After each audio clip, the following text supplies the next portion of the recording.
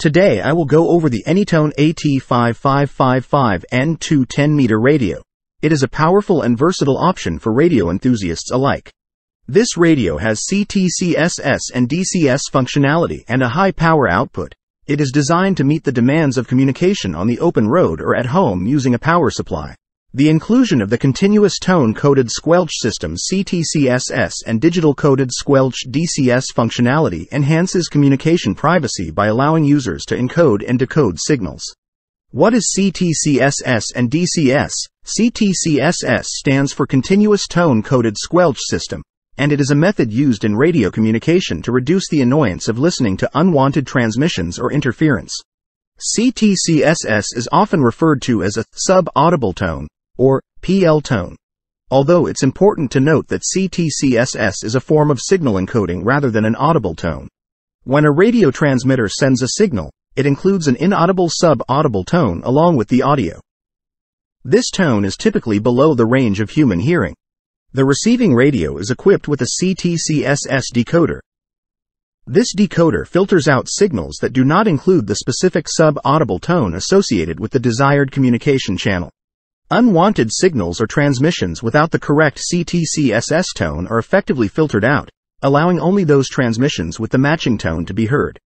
The use of CTCSS is common in scenarios where multiple users or groups share the same radio frequency. By employing CTCSS, each group can use the same frequency without interfering with one another. DCS stands for Digital Coded Squelch, and it is a method used in radio communication to provide selective squelching or muting of unwanted signals.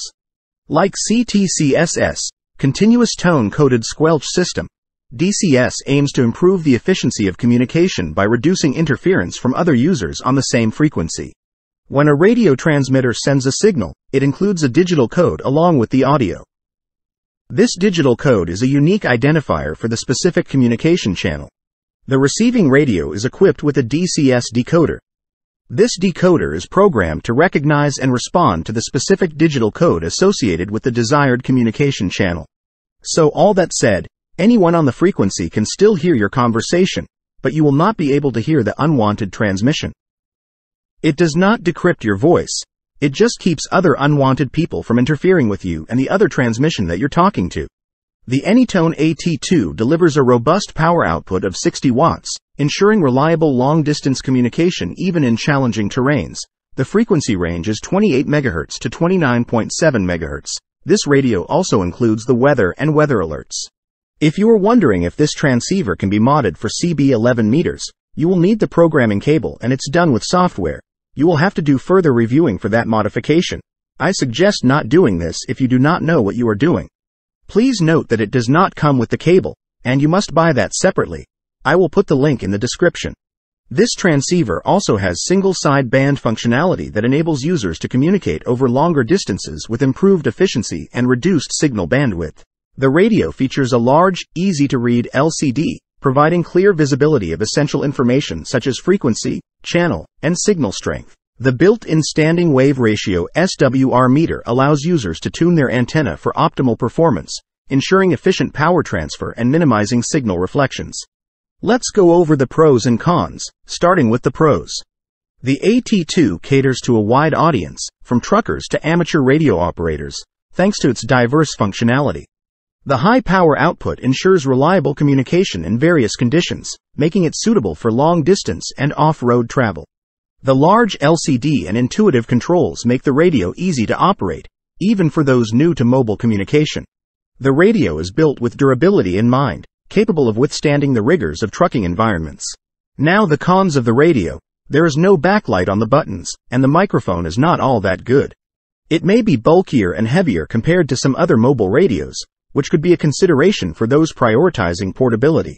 With advanced features, there may be a learning curve for users unfamiliar with the intricacies of CTCSS and DCS, including single sideband and other advanced functions.